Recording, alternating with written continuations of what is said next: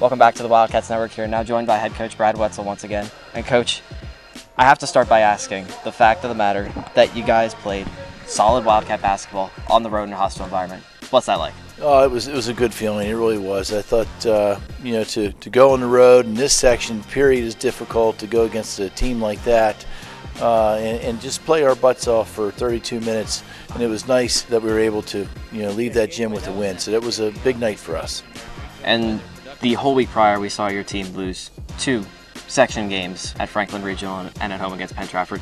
So, did the emotions feel any better after that win, knowing that you lost two straight and you got that one? Well, it certainly was, uh, you know, a, a, challenge. I mean, the kids' backs were against the wall, and and we didn't want to we did not want to drop uh, to a two and three uh, record just because of how difficult this section is going to be. We're going to make the turn here uh, in in a week, and so that that win was big for all kinds of reasons. But I think the most important is the one you mentioned, just the resiliency of the players to to be able to knuckle down after the, the Friday loss, give two good workouts, and then go down there and play some good basketball. And you said after the game, not to us directly, but in general, it was the biggest win in program history in the past couple of years. Yeah. Do you think it was also season defining this year? Well, I hope not. Uh, I, I, hope that was the start of something really special. You know, I hope that was that wasn't our zenith. I hope that was the start of something that's uh, to be, and that is uh, a team that you know comes out to the court and brings it every every game. So it was a terrific win. We haven't had one like that for a couple of years, and I, will hold to that. But I hope uh, that it's a a uh, footnote as to what we were able to accomplish this year. Now, I know the last time we talked, we talked about Max Butler and what he brings to the table, and he had a game high 16 points for your team. But one player that might go under the radar because he didn't score a lot of points in that game, Jaton Williams. He forced the game, in quote, the game sealing steal to get the bucket by John. What can be said about the way Jaton plays on a nightly, nightly basis? Yeah, just for those guys in general, but Jay particular, you know, I, I, think he just does so many things that maybe don't make it into the the the, the, the stats.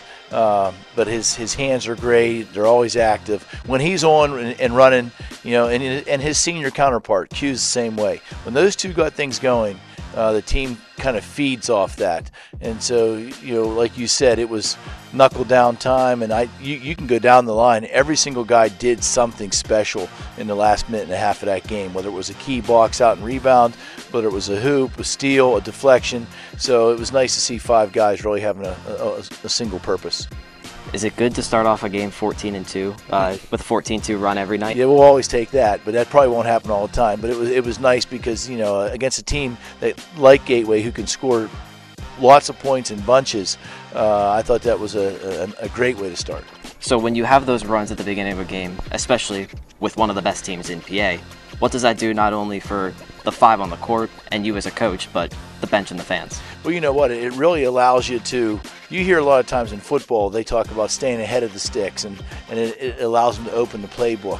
Well, in basketball, it's not a whole lot differently. If your if your team is the one dictating the tempo and the pace and things like that, it enables you to sub when you want, sub who you want, uh, make some changes during the game and the flow of the game that are keeping you uh, on the attack. And if you're if you're uh, reacting uh, like we did a little bit the previous week, that makes it hard. So I think it's uh, if you can get out of the gate hard and fast, it's a it's a tremendous advantage. Well, you guys turn the page tonight against Laurel Highlands. It's senior night, and you honor two key seniors, Quadarius Davis and Jaton Williams. Mm-hmm. What will be the emotions like for those two because they play an immense part of this team this year in particular, but also handling the emotions in order to get a win tonight. You know, it's it's it's a night to honor them, but you know what? This we, we like to think that the seniors this season honors them. You know that we don't take anything for granted. That, you know, we talked from the very beginning like this is your last trip down the road. You know, and now we're going to turn the page, and this will be their last uh, turn in the section to earn a second season.